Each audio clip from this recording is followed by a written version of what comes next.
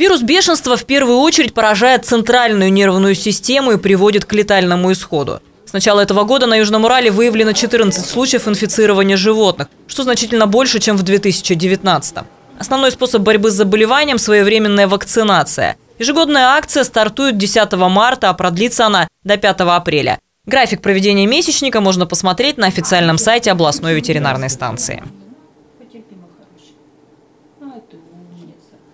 чтобы они чувствовали себя хорошо, атмосферу.